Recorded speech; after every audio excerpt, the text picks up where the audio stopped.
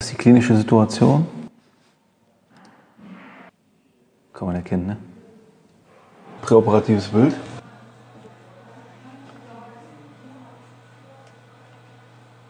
Unterkiefer. Ist nicht so ganz so geil, der Scan. Ich hatte hier ein paar Probleme äh, distal. Oberkiefer mit Scan-Schablone. Die Bisssituation. Hier ist das Modell, glaube ich, schon gematcht. Ne? Postoperatives Bild. Hier war der Pfosten nicht ganz unten, den haben wir natürlich nochmal nachgedreht. Postoperativer Scan. Hier kann man die Scanbody sehen. Wir haben gestern das Provisorium eingesetzt. Das war die Ausgangssituation vorher. Der Patient hat im Oberkiefer eine Teleskopprothese der Gaumen bedeckt. Das ist jetzt das Bild direkt nach dem Einsetzen. Und ihr seht jetzt noch bewegte Bilder.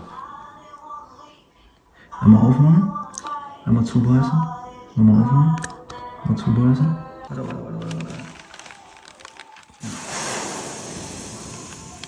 Norman Berg von Serona Denzblei und Thomas Pieler von Kamlok. Vielen, vielen Dank. Mein Praxislabor. Herr Weichenich, Herr Hayam, super Arbeit. Vielen, vielen, vielen Dank. Jetzt aber. Tschüss.